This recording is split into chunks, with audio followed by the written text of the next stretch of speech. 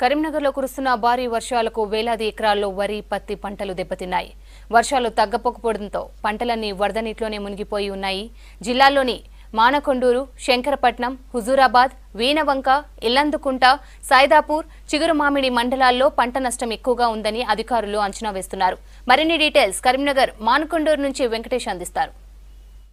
భారీ వర్షాలకు కరీంనగర్ ఉమ్మడి జిల్లా వ్యాప్తంగా కూడా అనేక చోట్ల పెద్ద ఎత్తున పంటలు దెబ్బతిన్నాయి. ఒక శంకరపట్నం మండలం కావచ్చు మానకొండ మండలం కావచ్చు దాదాపు రెండు వేల నుంచి మూడు వేల ఎకరాల్లో పంటలు దెబ్బతిన్నట్టుగా వ్యవసాయ అధికారులు అంచనా వేస్తున్నారు. ఇవి కాకుండా హుజరాబాద్ వీనవంక జమ్మికుంట ఇల్లందకుంట తర్వాత అటు సైదాపూర్ చిగురుమామిడి మండలాల్లో కూడా పెద్ద ఎత్తున వర్షాలకు పంటలు దెబ్బతిన్నాయి. చూడొచ్చు మనం ఇక్కడ మానకొండూరు సమీపంలోని పొలాలు. ఇవన్నీ యాక్చువల్గా ఇప్పుడు మనం చెరువును తలపిస్తుంది కానీ ఇది మొత్తం కూడా పొలాలు. పొలాలని చెప్పడానికి ఎగ్జాంపుల్ చూడవచ్చు మనకు వరి పంటను ఆనుకొని వర్షం నీళ్ళు నిలిచి ఉన్న దృశ్యాలు చూడొచ్చు మనకు. మొత్తం ఇదంతా కూడా వరి పొలంగా ఉండేది. ఎటు చూసినా కూడా నీళ్ళే కనిపిస్తున్నాయి. ఇంత పెద్ద భారీ వర్షము గత దశాబ్దం కాలంలో కూడా ఎప్పుడూ కురియలేదు.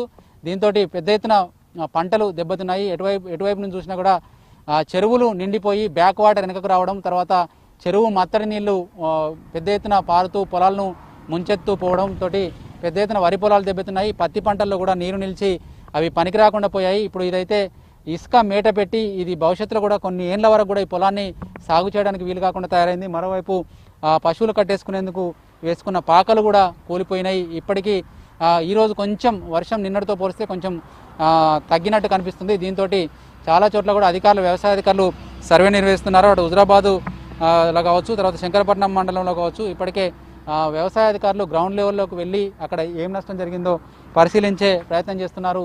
అయితే ఒకవైపు మరోవైపు ఈటల రాజేందర్ మంత్రి ఈటల రాజేందర్ కూడా కమలాపూర్ మండలం ప్రజెంట్ అది వరంగల్ అర్బన్ జిల్లాలో కలిసింది. కమలాపూర్ మండలంలోని ప్రాంతాల్లో కూడా ఈటల రాజేందర్ పరిశీలిస్తున్నారు. జరిగిన పంట నష్టాన్ని అంచనా వేయించి రైతులను కావచ్చు తర్వాత ప్రజలను కావచ్చు ఆదుకుంటామని చెప్తున్నారు. మరోవైపు ఈ వర్ష సూచన ఇంకా ఉంది అనేది వాతావరణ శాఖ హెచ్చరికలు చేస్తుంది. దీంతో రైతులు కూడా తమ పంటలు ఇక పండుతాయన్న ఆశను వదులుకున్నట్టుగా కనిపిస్తుంది. ఎక్కడ కూడా ఇటువైపు రావడం లేదు. రైతులంతా కూడా ఎట్లాగో పంటకు నీ వర్షార్పణం అయిపోయింది కాబట్టి ప్రభుత్వం ఏం చేస్తుందో చూద్దామన్న ఆశతో వాళ్ళు ఉన్నారు తప్ప ఎక్కడ కూడా వాళ్ళకు ఎలాంటి ఆశ లేవు. ఈ వర్షాకాలం పంటలు దాదాపుగా పోయినట్టే కనిపించుకోవచ్చు. ఒకవేళ ఈ మిగిలిన ఇలాంటి వరి పంట బతికినప్పటికీ కూడా ఈ తేమ శాతంతో ఎక్కువగా చీడపీడలు సోకి వాటికి దోమకాటు కావచ్చు తర్వాత అగ్గి తెగులు కావచ్చు ఇట్లాంటి రోగాలు సోకి అవి పంట చేతికి వచ్చే అవకాశం ఉందా లేదా అనేది కూడా మనకు తెలియని పరిస్థితిలో ఉంది.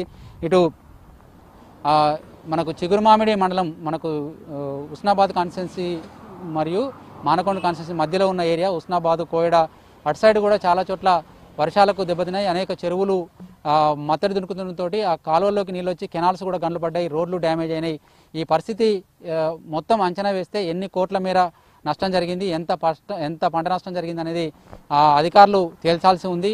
అనేక చోట్ల విద్యుత్ స్తంభాలు కూడా నేల కొరిగినాయి తర్వాత కమలాపూర్ మండలం నేరేళ్ళ దగ్గర అయితే ఏడు భారీ విద్యుత్ టవర్లు హైటెన్షన్ విద్యుత్ టవర్లు కూలిపోయినాయి. ఏడు టవర్లు కూలిపోయినాయి. దాంతో చాలా ప్రాంతాలు కూడా విద్యుత్ సరఫరా నిలిచిపోయింది. ఇట్లా అనేక చోట్ల పంట నష్టంతో పాటు ఆస్తి నష్టాన్ని కలిగించింది భారీ వర్షం.